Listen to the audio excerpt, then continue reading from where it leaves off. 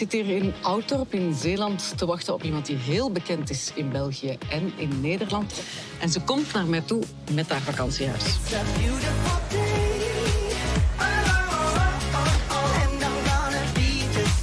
Hallo. Mag ik erbij? Stap in, stap in. Goedemorgen. Hoi. Alles goed? Ja, met jou? Ja, welkom in mijn bus. Ik zit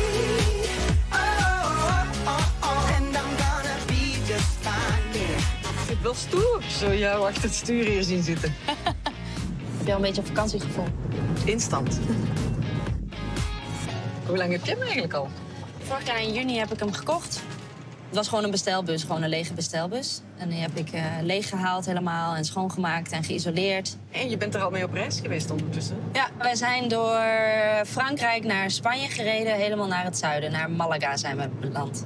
En je hebt heel dat eind zelf gereden. Ja. Ja. Dat is pittig.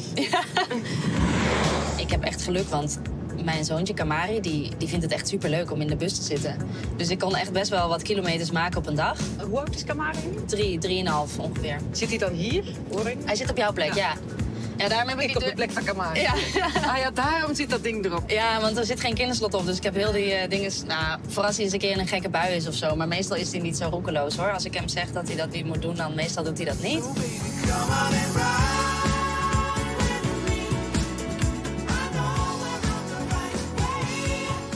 Wat zijn jouw favoriete plekken? Zo veel mogelijk natuurcampings achter. Niet eentje met heel veel toeters en bellen en eh, entertainment en weet ik het wat. Het liefst sta ik gewoon in een heel afgelegen plekje. En waar je kampvuur kan maken, dat vind ik ook leuk. Kampvuur, dat is gezellig. Ja, handig. Het is hier wel heel mooi, hè? Zullen we ons hier anders even zetten? Ja, is goed. Ja. Ik ga daar. Dankjewel. Kinderslot. Wat een plek. Laten zien? Graag. Tadaa! Hier slaap jij?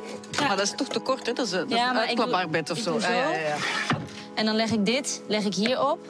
Nou, en dan trek je gewoon die deken zo en dan kan je gewoon zo liggen. En dat ligt perfect. Geweldig.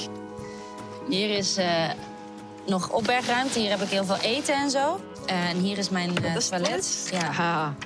Oeh, dat ik er niet uitval. Je kan ook nog gewoon als eh, stoel gebruiken. Maar als je de deksel eraf doet, dan is het gewoon een wc'tje. ja. Oké. En hoe Ja, werkt dat dan? ja, gewoon zitten en kakken, hè? Maar doorspoelen. Dus je hebt een zakje hier voor de grote boodschap, voor de number two. En ja, plassen gaat gewoon in die bak. Ah ja. En voilà, hier is mijn koelkast. Oh, altijd een flesje mee natuurlijk. Hoppakee. ik heb hier... Wacht even hoor. Zo. Oef, toen een beetje kracht. Ja, ja, het is een en al uitschuif, Ja. alles. Hier kook ik mee. Zet ik gewoon eh, in het stopcontact. Ik heb zonnepanelen op mijn dak. En als ik rij, wordt er ook een accu opgeladen. En dus je kunt hier echt alles, alleen eh, douchen is buiten te doen. Maar ik heb wel een douche. Ik kan het je even laten zien. Kom. Ja, graag. Oei.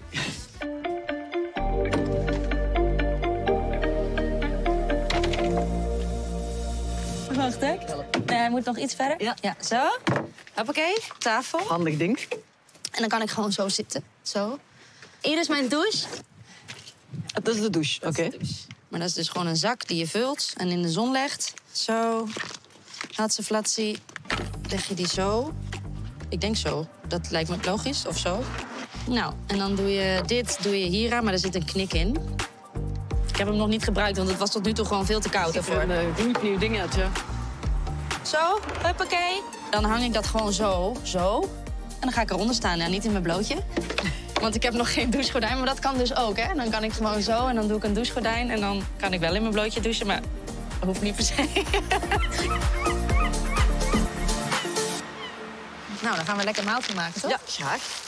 We eten vandaag gnocchi. Ik bak mijn gnocchi. Ik kook het niet, maar ik bak het.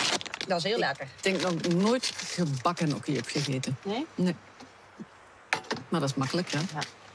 Je moet er ook allemaal niet zo te veel van verwachten, hè? Want het is gewoon... eh, ik ben eh, heel basic qua, qua koken. nou, en dan is het gewoon wachten. Wist je trouwens dat ik eh, mijn bus ook een naam heb gegeven? Ah? Hoe heet hij? Ja, hij heet dus, en eigenlijk is het een beetje moeilijk, want hij heet dus Evert. Ik heb hem gedoopt tot, tot Evert. Maar eigenlijk had ik kort daarna al een beetje spijt, omdat ik Chateau Jos eigenlijk leuker vond. Chateau Jos is leuk, ja. Ja, dus nu dacht ik, oké, ik doe Evert als een soort van pseudoniem. Van ik ga dit weekend met Evert op pad, zo. Maar misschien dat ik ergens een plekje in de bus moet vinden. Misschien op dat randje van dat bed of zo. Dat ik er zo een soort van ja, brandmerkje of een bordje of iets. Dat dat toch een Chateau Jos is. Vind ik leuker. En Kamari is dus dol op Evert. Ja, die vindt het wel echt, het, eh, echt heel leuk. Als je zo ergens gaat parkeren, je bent dan alleen met je kind, ben je dan soms bang s'nachts? Nee, ik ben niet bang. Maar ik heb één keer echt heel afgelegen bovenop een berg eh, gestaan. En dan was er nog één andere camper ook. En ik wilde bijna zo gaan vragen, van, blijven jullie hier vannacht ook staan? Weet je wel, ik wist niet of dat gebruikelijk was in camperlife. Maar, Is het eh, gebruikelijk? Nee, denk ik niet. Die waren ook de hele avond in hun camper, want het was heel koud. En toen kwamen er wel zo'n paar jongeren zo een beetje roken en een beetje hangen en zo. En toen dacht ik wel van, hm, moet dat hier precies wel even in het snotje houden... om, om te zien of dat hier wel rustig blijft vannacht. Maar dat ging prima verder. En weet je, de wereld is eigenlijk ook best een goede plek, hè? Het is, heel veel van de angsten zijn gewoon een beetje op basis van hele kleine kansen. Die je dan in je hoofd veel groter maakt of zo. Je moet wel gewoon je gezond verstand gebruiken... maar over het algemeen is de wereld een vrij veilige plek. Ja, ik zit in de ideale positie om te roeren eigenlijk. Op de wc. Ideaal om te roeren. Ik kan er net bij. Ja, Het ruikt goed. Het vuur. Oké. zo. Nou, laat Smakelijk. het, laat het smaken. Laat ze maar denken, van alles over ons zeggen. Wij weten toch wel hoe. Voetjes in de zee? We kunnen dat eens proberen, ja? Oeh, is wel fris gezegd.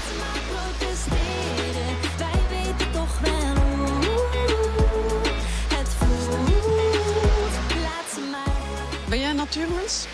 Ja, we zijn eigenlijk allemaal natuurmensen, toch? Nee? In zee wel, maar je hebt mensen die zich lekkerder voelen in een stad dan, eh, dan in de natuur buiten. Ja, oké. Ik hoef niet helemaal eh, afgelegen te wonen. Daar ben ik wel nog niet aan toe of zo. Ik denk dat ik het gewoon fijn vind om af en toe de mogelijkheid te hebben om je terug te trekken, echt in de natuur en zo en dat soort dingen. Maar dat ik het ook wel leuk vind om een beetje mensen om je heen en een beetje bruisend en toch de mogelijkheid om eventjes erop uit te trekken en snel onder de mensen te kunnen zijn en zo. Dat vind ik ook wel heel fijn. En hoe is het met jou en de liefde? Ik geloof er nog steeds in als dat de vraag is. De vraag kan je interpreteren zoals je wil eigenlijk. ja.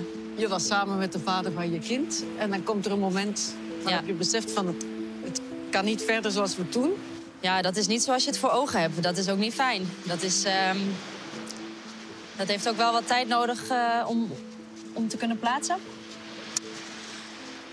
Gaat ook niet over één nacht ijs, dus dat is altijd heel lastig. Hè? Zeker als er een kindje bij, eh, bij betrokken is. Dus dat is... Ja, dat vind ik, eh, vind ik heel moeilijk. En had Kamari daar veel last van?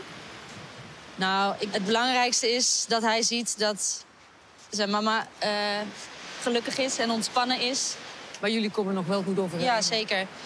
We, we doen het ook samen nog, maar ja, we, we leven niet meer samen als partners. Nee. Maar als er zo iemand je pad zou kruisen, zou je daar dan voor openstaan opnieuw of niet? Ja, inmiddels wel weer, omdat ik al een tijdje alleen woon. En omdat ik ook niet geloof dat mensen helemaal 100% gemaakt zijn om altijd alleen te zijn. Dus we, we zien wel, maar het is niet dat ik daar eh naastig naar op zoek ben... of dat ik eh, mezelf echt in de strijd gooi. Ik eh, kom het liefst in het, in het wild gewoon tegen... en dat het allemaal klopt en fijn is en zo. Om dat gewoon, gewoon Ja. de flow en zien wat er komt. Precies, ja. Zou je eigenlijk kunnen zeggen dat je busje een beetje de reflectie is van hoe je in het leven staat? Van ik zie wel waar ik uitkom, ik rij wel ergens naartoe. ja. Een beetje gepland, maar niet alles te gepland. Ja, ik denk wel dat dat een, een mooie vergelijking is. Of er toch een, een soort van door te trekken lijn in. Dat ik er niet zo heel erg van hou om ehm, alles helemaal strak te plannen. Dat, dat- ik krijg dat, dat lukt mij ook gewoon niet in mijn hoofd. dus dan zo'n camper, Go with the flow. ja, is dan wel een beetje dat go with the flow vibe of zo. Ik denk mensen die echt alles heel strak geregeld willen hebben, moeten niet in een camper gaan zitten. Want je weet nooit helemaal zeker waar je uitkomt, Nee. zeg maar. Kijk ons nou,